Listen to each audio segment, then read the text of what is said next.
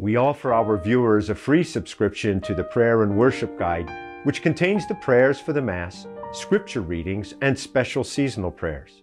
For your free copy, order online at heartofthenation.org or call us toll free at 1 855 855 MASS or write to Heart of the Nation, Post Office Box 14428, Milwaukee, Wisconsin 53214. Your privacy is important to us, and we will not share your name or contact information with any other organization. If you're joining us through YouTube, please click the like button and consider subscribing to our channel. The Heart of the Nation Mass is a viewer supported ministry. Please consider an offering today to support the Mass on TV and online. Thank you, and may God bless you.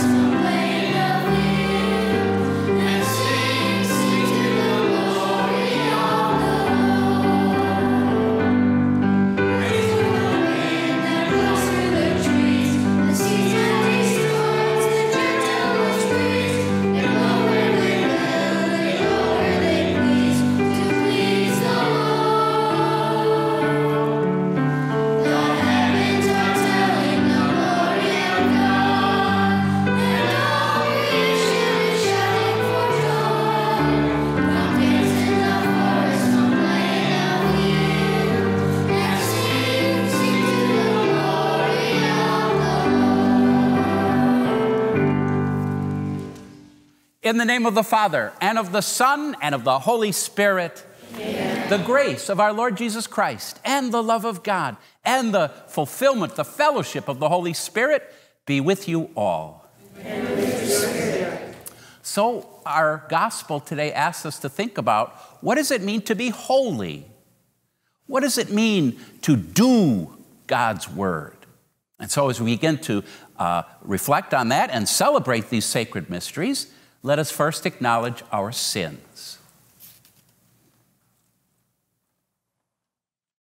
Lord Jesus, you were sent to heal the contrite of heart. Lord, have mercy. Lord, have mercy. You came to call sinners. Christ, have mercy. Christ, have mercy. You are seated at the right hand of the Father to intercede for us. Lord, have mercy. Lord, have mercy. May Almighty God have mercy on us, forgive us our sins, and bring us to everlasting life. Amen. Amen.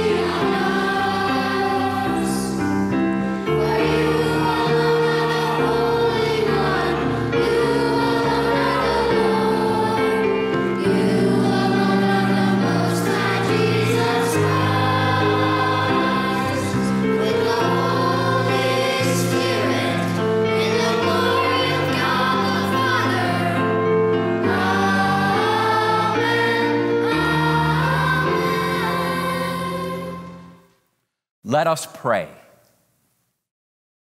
God of might, giver of every good gift, put into our hearts the love of your name, so that, by deepening our sense of reverence, you may nurture in us what is good, and by your watchful care, keep safe what you have nurtured. Through our Lord Jesus Christ, your Son, who lives and reigns with you in the unity of the Holy Spirit, God, forever and ever. Amen. A reading from the book of Deuteronomy. Moses said to the people, Now, Israel, hear the statutes and decrees which I am teaching you to observe, that you may live and may enter in and take possession of the land which the Lord, the God of your fathers, is giving you. In your observance of the commandments of the Lord your God, which I enjoin upon you, you shall not add to what I command, nor subtract from it Observe them carefully, for thus will you give evidence of your wisdom and intelligence to the nations, who will hear all of these statutes and say, This great nation is truly a wise and intelligent people. For what great nation is there that has gods so close to it as the Lord our God is to us whenever we call upon him? Or what great nation has statutes and decrees that are as just as this whole law which I am setting before you today. The word of the Lord. Thanks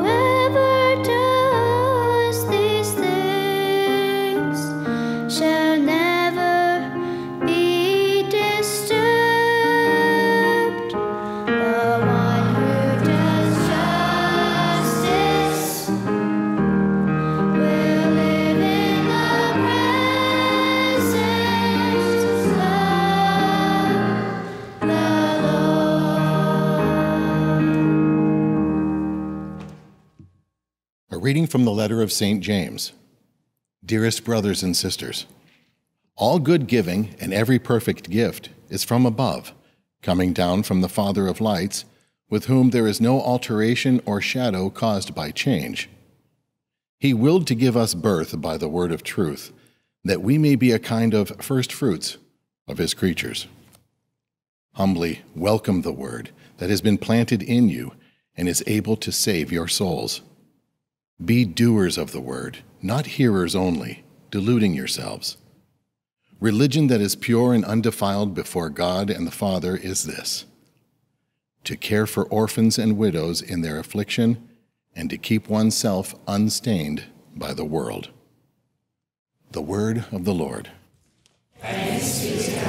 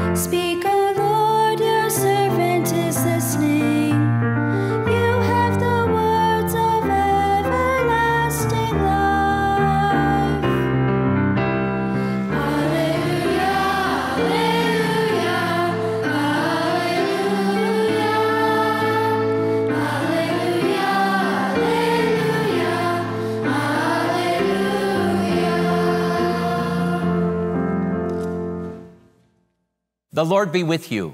A reading from the Holy Gospel according to Mark. When the Pharisees, with some scribes who had come from Jerusalem, gathered around Jesus, they observed that some of his disciples ate their meals with unclean, that is, unwashed hands. For the Pharisees, and in fact all Jews, do not eat without carefully washing their hands, keeping the tradition of the elders. And on coming from the marketplace, they do not eat without purifying themselves. And there are many other things that they have traditionally observed the purification of cups and jugs and kettles and beds. So the Pharisees and scribes questioned him Why do your disciples not follow the tradition of the elders, but instead eat a meal with unclean hands? He responded, Well did Isaiah prophesy about you hypocrites, as it is written, This people honors me with their lips, but their hearts are far from me. In vain do they worship me, teaching as doctrines human precepts. You disregard God's commandment, but cling to human tradition. He summoned the crowd again and said to them, Hear me, all of you, and understand. Nothing that enters one from outside can defile that person, but the things that come out from within are what defile.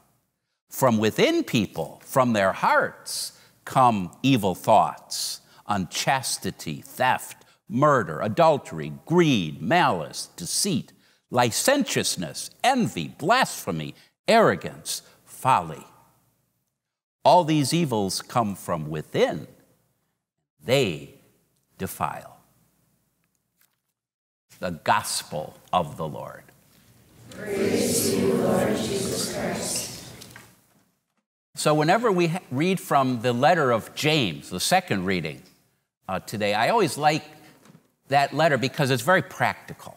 James is always very practical. He tells you, he tells you what, uh, what you should do. And he's telling us that the word is within us. And so that uh, with that word within us, we need to be doers of the word and not just listening to it. Otherwise, he says, you delude yourselves. You're fooling yourselves. Well, in the gospel, Jesus shows us a prime example of how that can happen. In other words, how people can delude themselves uh, by thinking that they are doing the word when they're not doing any such thing. And he, he targets, Jesus targets the fact that all of the things that they do are external. They're external things. They're washing their hands and washing cups and dishes and kettles and, and, and doing all this outward stuff that has nothing to do with what is going on inward. How do we follow that? How do we do the word and not just um, uh, delude ourselves by just doing a lot of stuff? We always like to do a lot of stuff. And the more stuff we do, sometimes we think, oh, I'm doing a really good job because I'm doing a lot of stuff. But Jesus doesn't really look at it that way. Doing stuff, doing religious stuff, uh, can begin in a very in a very good way. It's a reflection of what is already inside. We've already repented. We've already changed. We've already changed our heart. And as evidence of that, what we do um, kind of gives evidence of that. But something can happen. Over many, many years and, and sometimes centuries, uh, people look at the outside things that people do with a changed heart and imitate just the things that they do. So, in other words, the, um, uh, the, the, the, acts themselves become uh, the same as being holy, the same as doing the word. But you can do all kinds of religious things. You can even go to Mass, my goodness, God forbid, without really having it in your heart. Maybe you go only because you have to. Um, and so it just becomes uh, an external external act. There's a couple of dangers that happen when, when you only do things for the outside. First of all, it, it, it grabs our ego. Our ego is always wanting to look good in front of other people and always wants other people to say, oh boy, is he, is she great? Is she holy? And that doesn't help us at all. Another thing it sometimes does is then we compare our little activities and work and things that we do and, and see someone else who maybe doesn't do it the same as we, and then we think we're better than they are. Like the Pharisees in the, in the gospel reading. We wash our hands. Why don't you guys do the same? And so you have, you have comparisons, and that doesn't help us at all. And that's where Jesus always wanted to see the outside, what we do, as reflecting the inside of our hearts, the, the repentance and conversion that has happened. So how do we how can we be sure that we're we're doing what, what Jesus asked for? Well, again, we go back to James, that, that practical apostle that wrote that letter. He said, if you want to be sure you are doing the word, help people, help the afflicted, widows and orphans, those people who don't have anyone else to protect them. Be compassionate, serve the needs of the poor. Then, if we do that, we can all be sure that we are doing the word and that we are showing forth holiness. So let's profess our faith in the Apostles' Creed found on page 40 in your worship aid. I believe in God, the Father Almighty, creator of heaven and earth, and in Jesus Christ, his only Son, our Lord, who was conceived by the Holy Spirit, born of the Virgin Mary, suffered under Pontius Pilate, was crucified, died, and was buried. He descended into hell. On the third day, he rose again from the dead. He ascended into heaven and is seated at the right hand of God the Father Almighty. From there, he will come to judge the living and the dead. I believe in the Holy Spirit, the Holy Catholic Church, the communion of saints, the forgiveness of sins, the resurrection of the body, and life everlasting. Amen. We now open our hearts to ask our Father for what we truly need.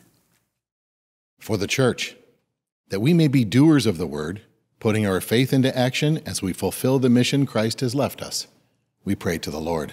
Lord, hear our prayer. For those who defile who defile our world through negative speech, that they may use words that build up, not tear down. We pray to the Lord. Lord, hear our prayer. For students, teachers, administrators, and staff at the beginning of a new school year, that their commitment to the vocation of education may be rewarded by an atmosphere of fruitful learning, we pray to the Lord. Lord, hear our prayer. For the sick, especially among our Heart of the Nation parish family, that they will soon be restored to good health, we pray to the Lord. Lord, hear our prayer. For our beloved dead, that they may come into God's kingdom of light, love, and peace, we pray to the Lord. Lord, hear our prayer. For the needs and prayers of all our Heart of the Nation parish members, including those joining us from the states of Nebraska and Wyoming, we pray to the Lord. Lord, hear our prayer. Loving Father, we thank you for all you have given us, especially the gift of your word. Help us not to simply listen to it, but to do it. And hear these prayers through Christ our Lord. Amen.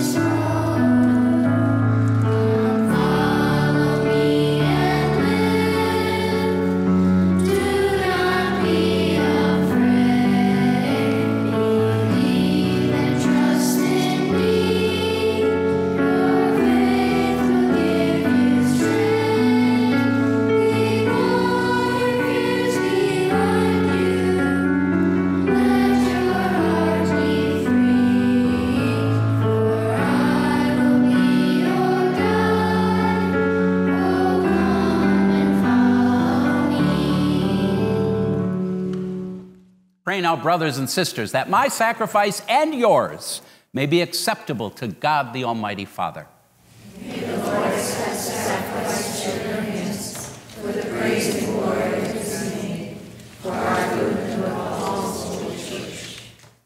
May this sacred offering, O Lord, confer on us always the blessing of salvation, that what it celebrates in mystery, it may accomplish in power. Through Christ our Lord. Amen. The Lord be with you. Lift up your hearts. Let us give thanks to the Lord our God. It is truly right and just, our duty and our salvation, always and everywhere to give you thanks, Lord, Holy Father, Almighty and eternal God, through Christ our Lord. For out of compassion for the waywardness that is ours, he humbled himself and was born of the Virgin. By the passion of the cross, he freed us from unending death, and by rising from the dead, he gave us life eternal. And so, with angels and archangels, with thrones and dominions, and with all the hosts and powers of heaven, we sing the hymn of your glory, as without end we acclaim.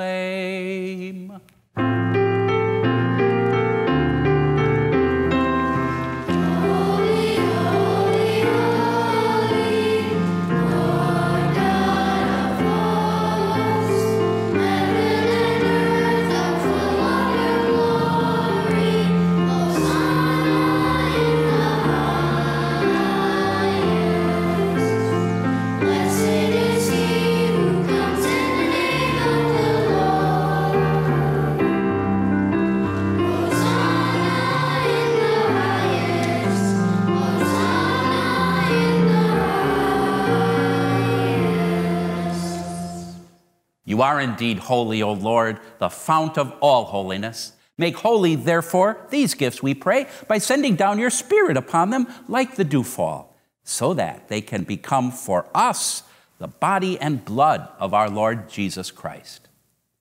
At the time he was betrayed and entered willingly into his passion, he took bread and giving thanks, broke it and gave it to his disciples, saying, Take this, all of you, and eat of it. For this is my body, which will be given up for you.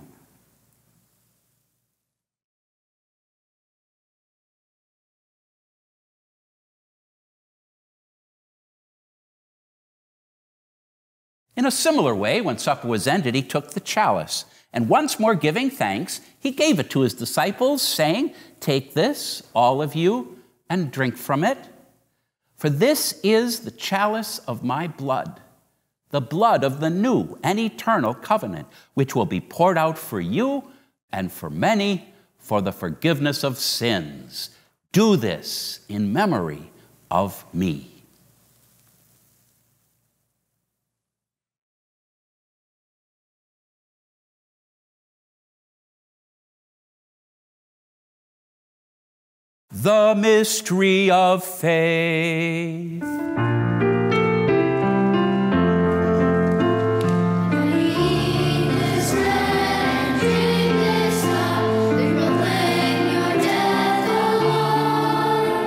Until you come again.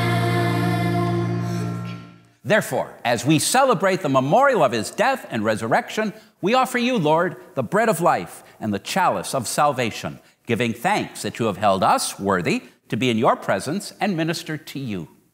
Humbly we pray that partaking of the body and blood of Christ, we may be gathered into one by the Holy Spirit. Remember, Lord, your church spread throughout the world and bring her to the fullness of charity, together with Francis, our Pope, and all of our bishops, all the clergy, and all of your faithful people. Remember also our brothers and sisters who have fallen asleep in the hope of the resurrection, and all who have died in your mercy. Welcome them into the light of your face. Have mercy on all of us, we pray, that with the Blessed Virgin Mary, Mother of God, with Blessed Joseph, her spouse, with the blessed apostles, and with all the saints who have pleased you throughout the ages, we may merit to be co heirs to eternal life and may praise and glorify you through your Son, Jesus Christ. Through him and with him and in him, O God, Almighty Father, in the unity of the Holy Spirit, all glory and honor is yours forever and ever.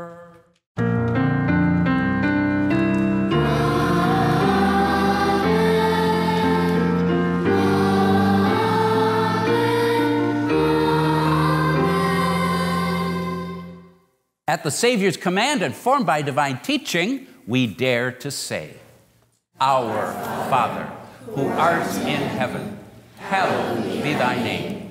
Thy kingdom come, thy will be done, on earth as it is in heaven.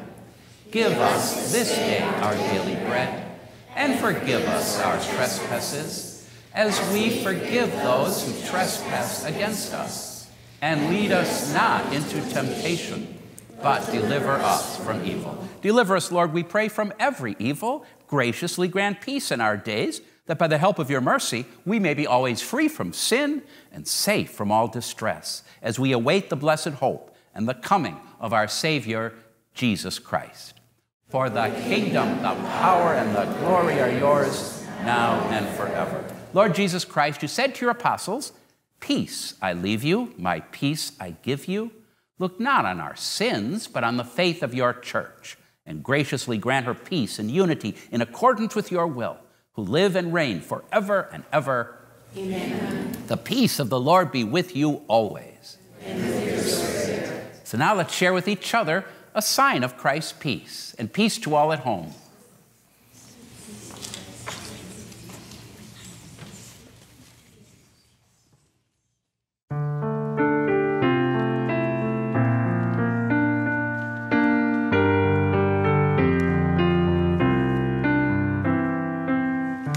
Lamb of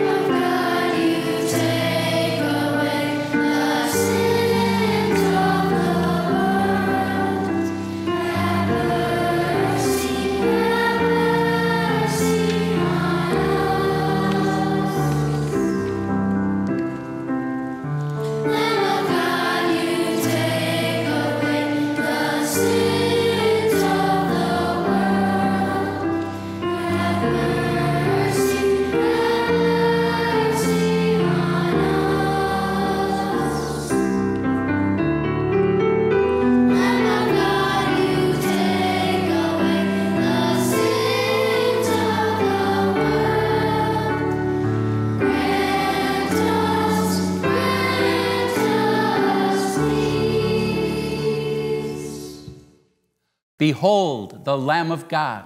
Behold him who takes away the sins of the world. Blessed are those called to the supper of the Lamb. Lord, I am not worthy that you should enter under my roof, but only say the word, and my soul shall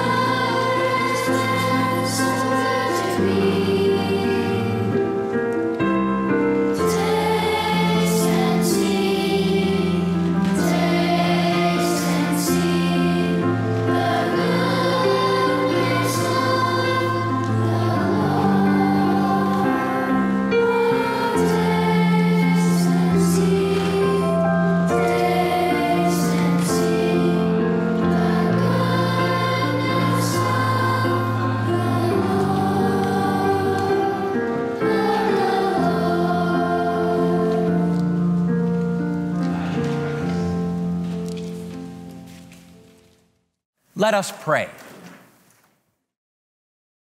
Renewed by this bread from the heavenly table, we beseech you, Lord, that being the food of charity, it may confirm our hearts and stir us to serve you in our neighbor. Through Christ our Lord. Amen. The Lord be with you. May Almighty God bless you, the Father, the Son, and the Holy Spirit. Go forth to glorify the Lord by your life. Thanks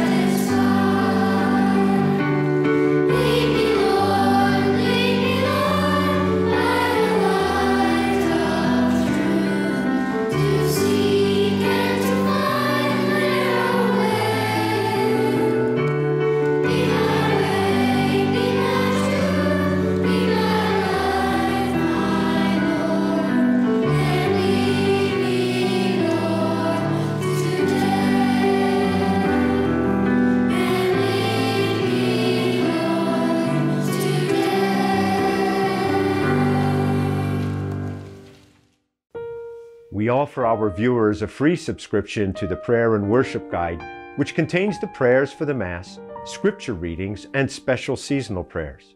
For your free copy, order online at heartofthenation.org or call us toll free at 1 855 855 MASS or write to Heart of the Nation, Post Office Box 14428, Milwaukee, Wisconsin 53214.